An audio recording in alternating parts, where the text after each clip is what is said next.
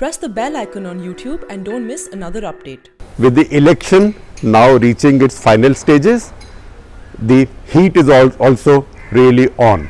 And the Prime Minister has taken it up several notches up by invoking Rahul Gandhi's father, that is Rajiv Gandhi, and saying he is responding to Rahul Gandhi saying that he will destroy Narendra Modi's reputation by saying that basically how will you destroy my reputation look at your father his hangers on called him Mr clean but he died Bhrashtachari number 1 which is India's most corrupt man now obviously this has led to a lot of controversy and a lot of reactions from both sides if you ask me, it's a totally uncalled for remark, but it has served one purpose. It has brought focus back on Rajiv Gandhi and given us this opportunity to lift the layers or declutter some aspects of Rajiv Gandhi's public life, not personal life, public life, especially his five years in power.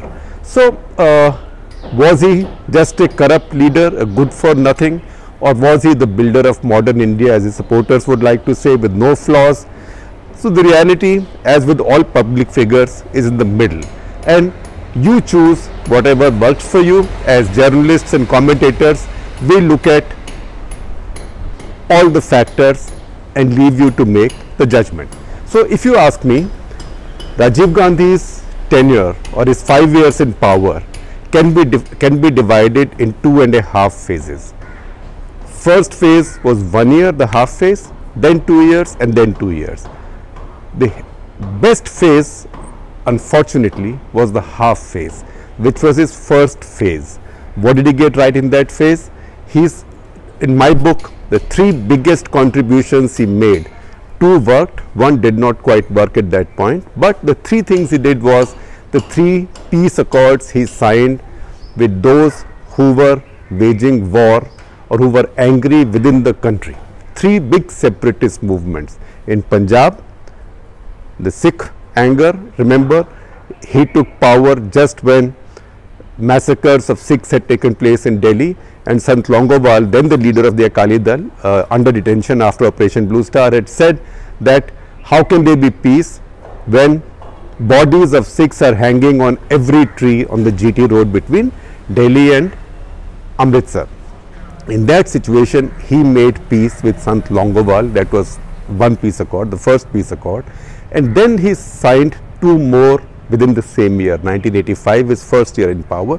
One was with Praful Mahanta and Bhrigu in Assam, and the third was with Lal Denga, who was the leader of the underground in Mizoram.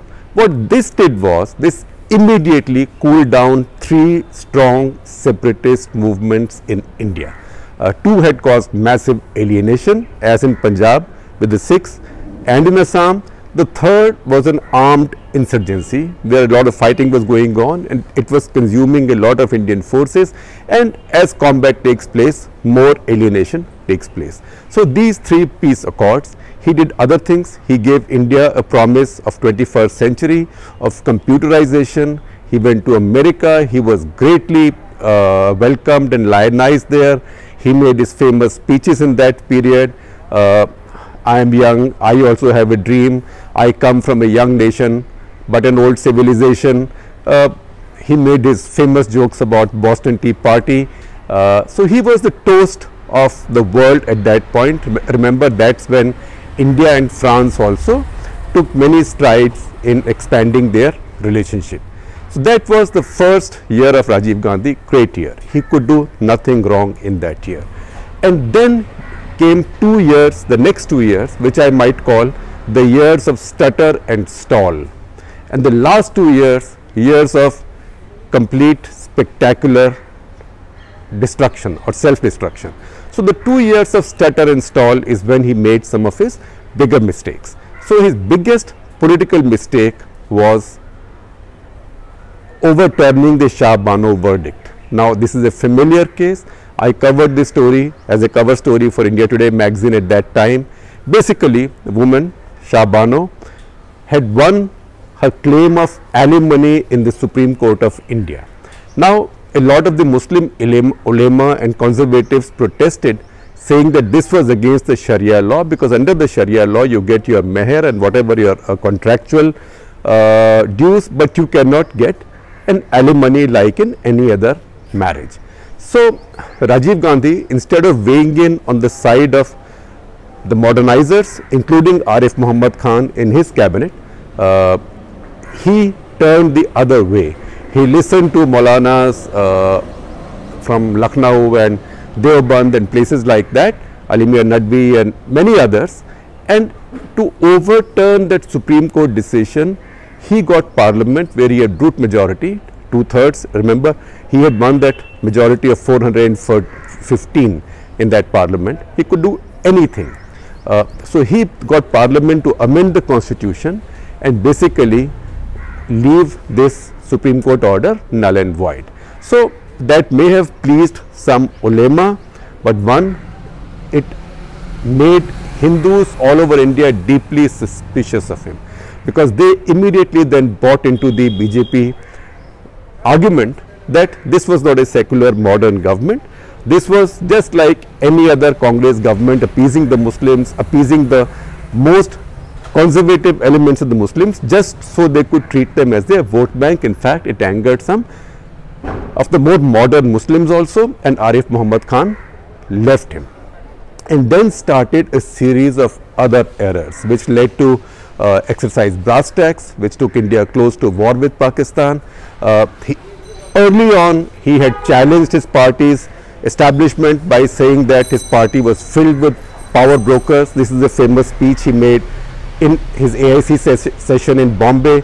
So, he alerted all old groups in his party that he was going to go after them, but then first signs of pressure he lost nerve and instead of going after them, in fact he started accommodating them. And that is how Kamalapati Tripathi who in many ways represented the worst of the old Congress values was made the working president of the party. So, these next two years is where was stutter and stall and that is when his fall began. By the end of 87, by the end of his third year, he was on his way down and so much was the momentum because the mass was so big remember momentum is mass into velocity but the mass is big you start going down you gather pace very fast it becomes very difficult to reverse it because that is when then the big things happened the Bofors scandal broke out uh, in 1987 and then other sca scandals there was one about type 209 submarines uh, there was also about an Airbus purchase for Indian Airlines. See, these things always come in a heap, just as 2G, coal,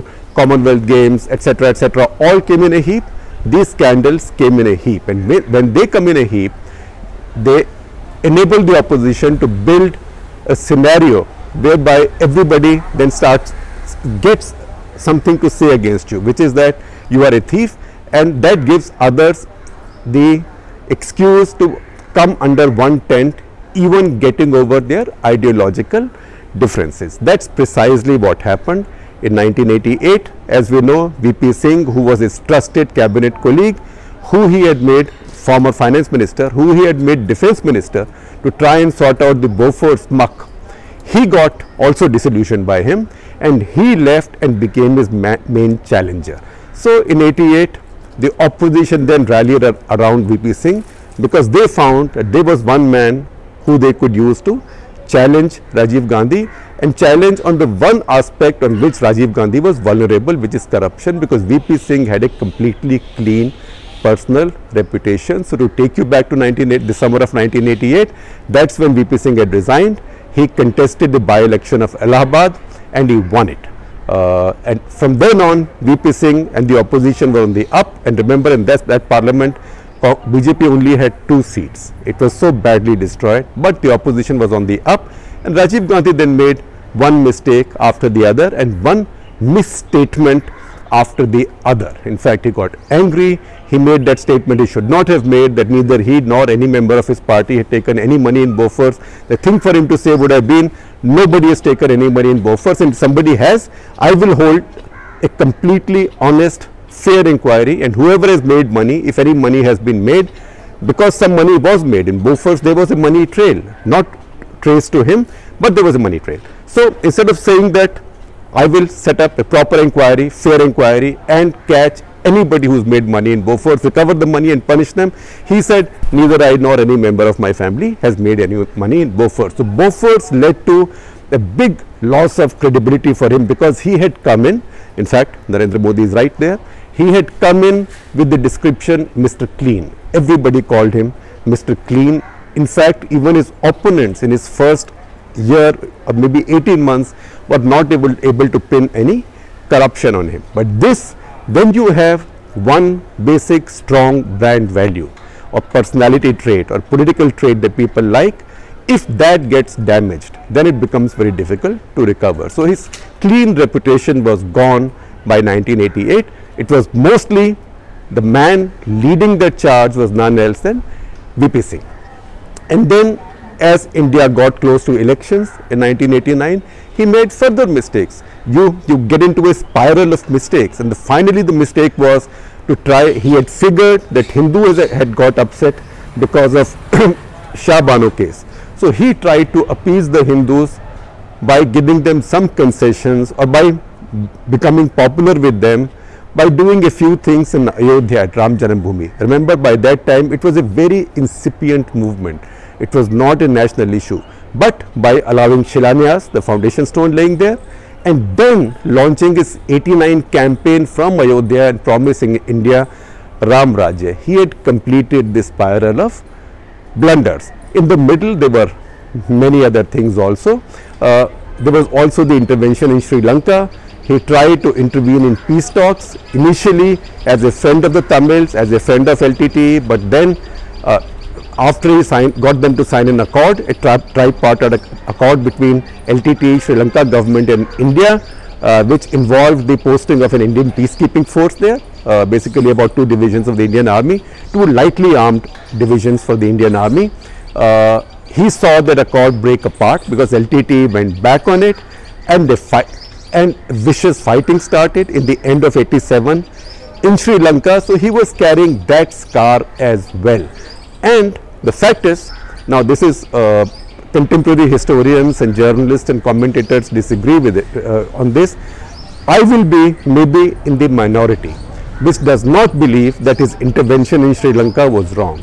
I am among those who believe that he did the right thing by intervening even militarily in Sri Lanka because it was worth the risk. Because what he did is something that no Indian leader before or after has done he fought what he saw as India's future strategic battle beyond the shores of, in, of India in another country, uh, on, in some ways on behalf of another country, uh, with its own people, not India's own people, that country's own people. That is something no Indian leader has done before and after. And, and I can say now with so much hindsight that if he had not done it then, he paid a big price for doing it. Because he did that, LTT assassinated him in 1991 because LTT thought he was coming back to power again and they didn't want him to come back to power because once again uh, we forget our recent history.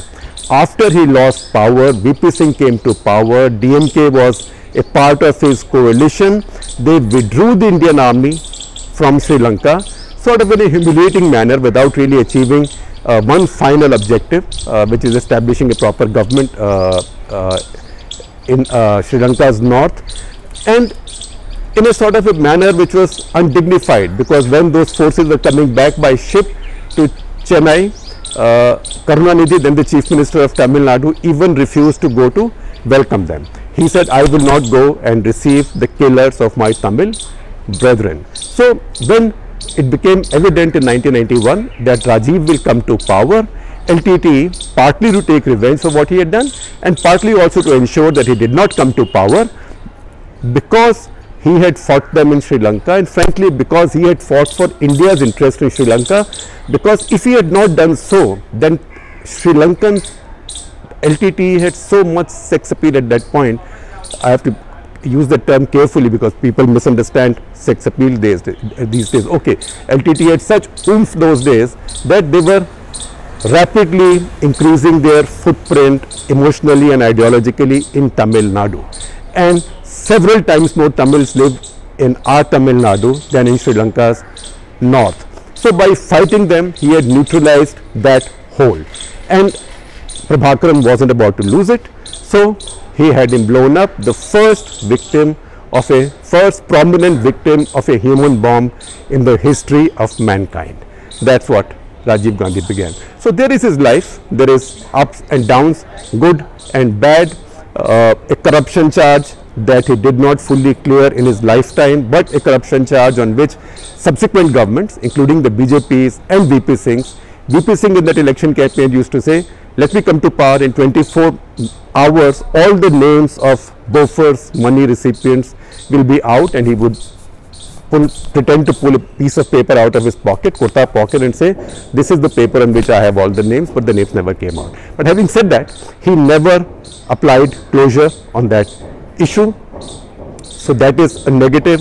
The other negatives, as I said, Shah Bano case, the the sort of panicky mistakes he made in Ayodhya, and also we must not forget that the Mandal Commission report was presented in his time, and he instead of implementing it, just buried it, just sidelined it. There were there was a, few protests in Bhopal and Gujarat, uh, and as usual in Gujarat, those protests had turned turned communal upper caste protests against Mandal Commission, and he sidelined that report, and that then gave VP Singh and his and other caste-based parties, Lalu, Mulayam, uh, etc., to build a larger political agenda and defeat him. So that is the story, good, the bad of Rajiv Gandhi's life, which I have tried to declutter and uh, uh, and simplify for you in a few minutes. I will only conclude by reminding you of something that Jawaharlal Nehru had told David Attenborough when he came came to him and said he wanted to make a film on Gandhi's life. So he said, make, take a proper look at his life and show it with all the facts, warts and all. So all great people, good or bad, they have good side, bad side, even the best one have warts to their personal lives. Important thing for us commentators is to collect all of them and help you arrive at a at a fair judgment. Having said that, no Indian public figure, no Indian public leader, least of all a Prime Minister, deserves to die the way Rajiv Gandhi did. No Indian public figure, no foreigner should think, and remember LTT are foreigners, no foreigner should think that they can come and kill, assassinate an Indian public figure and get away with it. If we drag those assassinations into our partisan political discourse, it is very harmful for our country. This must never be allowed to happen. I will now conclude with the line that my friend uh, S. Gurumurthy, uh, with whom I also argue on many things in a very healthy and friendly manner, uh, he had said to me then, he said that by choosing to die where he died, that's in Tamil Nadu, and the manner of his death, Rajiv Gandhi has done some great turns for India. One, he has destroyed the idea of Tamil separatism forever. Second, he has done more for, for building a kind of pan-Indian nationalism in Tamil Nadu than anybody had done in recent times. And third, he said he has now finished this godless movement, the Dravid movement. Uh, in fact, I did write a writings on the wall some time back from Tamil Nadu saying how even the DMK leaders and how even the those following Dravid politics had now given up that kind of aggressive atheism. So finally this is the story and I will tell you one more thing. 2009, 18 years after Rajiv Gandhi's death, Rajapaksa used the toughest methods available and caused a lot of collateral damage but destroyed the LTTE and killed Prabhakaran family, friends, colleagues, everybody. How did Tamil Nadu react? Tamil Nadu, were some whimpers of protest. Jayalalitha said she'll go on a fast unto death. She missed precisely one meal, right? One lunch and then she was back at work. Nobody did anything. India looked the other way even though there was an election on in India in 2009. Yet Tamil Nadu looked the other way Rajapaksa was able to completely destroy LTT and finish that menace forever. In that election, remember, uh, Congress party and its allies also won in Tamil Nadu. So, if Rajiv Gandhi had not started what he did in 1987, had not paid for it with his life, I promise you would not have been possible almost two decades later to destroy the LTTE which was the biggest terror threat ever to the subcontinent. To date, even to date, no terror threat has become bigger than LTTE was. So on that note, I will conclude this. Obviously, there will be many points of view. Please write back to me. We'll try and respond to what we can and do keep watching our YouTube channel and do subscribe to it.